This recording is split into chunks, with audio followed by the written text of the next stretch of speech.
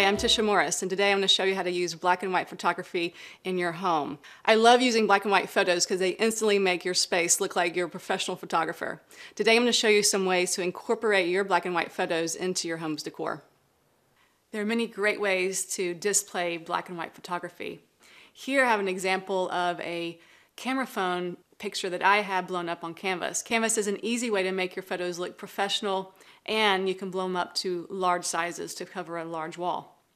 Using a black frame and white mat is another way to display black and white photography that gives it a museum style look. If you can't put nails on your wall, then mounting your photos on foam core is another option. It's an easy, quick way of displaying your photos without even needing a frame.